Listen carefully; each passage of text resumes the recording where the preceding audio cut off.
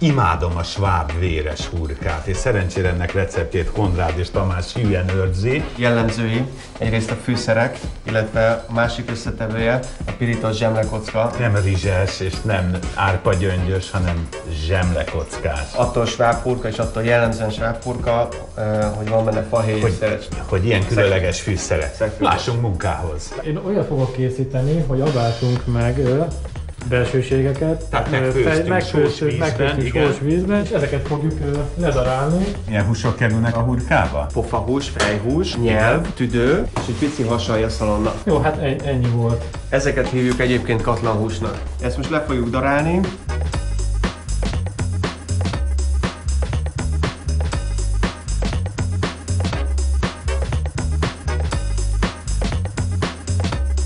Készen vannak a húsaink, lepirítottuk a zsemlekockát, ugye? Elő van főzve a hagymánk, akkor most már csak össze kell keverni. Most jön a lényeg. Most jön a lényeg. A, a tölteni való húsnak a 30%-a körülbelül Az a zsemle. Az a zsemle, igen. Pirított zsemlekocka előtt beletesszük a hagymát. Még a hagyma, igen. És most jön a pirított zsebekocka. És akkor gondolom most jön a lényeg, a vér, a igen, névadó. igen. A sót egyébként ízlés szerint rakjuk bele. Igen. A piros paprikát is. Ez édes vagy csípős Ez paprika? édes, édes nemes. Egy pici fokhagymát is tartalmaz. Egy kis magyaranát kérünk majd szépen. Jellemző fűszere. Fekete bors. És most jön a meglepetés fűszer, ugye? Az édes Igen. fűszerek, a fahéj. Fahéj és a szegfűbors. A szegfűborsból éppen csak egy picit teszünk bele. Már most finom illata van. Most finom illata van. Közben már ide készítettük a hurkatöltőt, betöltjük a töltelékünket. Megtelt a... Rakhatom, Tamás? Lenni természetesen. És akkor most kérnék egy segítséget, az apó. Tényleg egybe segít? Innentől kezdve jön a szakma.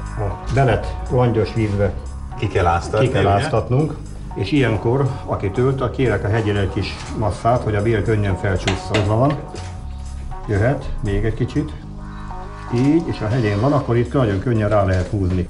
És amennyit éppen föl tudunk tölteni a töltőcsőre, annyit felhúzunk. Így. És akkor legvégére kötünk egy csomót, hogy azt már nem kell akkor nekünk hurkapálcikázni. Indulhat Jó. tölthetünk. Tehát ellentétben a kolbásszal, még a kolbászt azt keményen töltjük, a hurkát azt nagyon Lágyan, óvatosan, lágyan kell tölteni, hogy legyen majd a hőfokhoz képest hova tágulnia. Odaütünk, hogy menjen ki a levegő. Úgy, szépen tekerjük föl. Nos, a másik végét azt újra le tudjuk csomózni. Szépen lepározzuk, átszúrjuk. Kész van a párunk, a közepét megfogjuk, és áttekerjük. Tessék, készen És van itt egy pár. a hurka párba. Most jön egy fontos dolog, a, az apálás, ugye? A víz hőfoka nem szabad, hogy forjon, egy olyan 80-85 fokos szétrobban a vízbe, hogy szét ne robbanjon. Úgy látom, hogy elkészültek a és Meg is nézzük a tesztjét. Vér már nem jön, csak a zsíradék jön ki, tehát azt jelenti, hogy a hurkánk az teljesen kész állapotban van. most És jön a hűvös helyre kell áttenni, kiteríteni, lehetőleg minél több levegővel érintkezzen, hogy ne egymáson takarjanak. Tehát, Igen, mert befülled. Hát 24 órát hagyjuk állni, hogy teljesen leszáradjanak, és abszolút kihűljenek.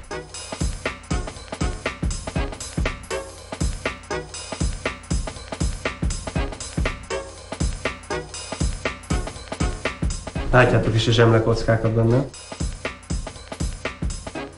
Egy nagyon finom portugízát fogunk most kóstolni. Megy illatú, egy nagyon finom karakteres ízvilágú kis borocska, ami papszolni fog a hurkához.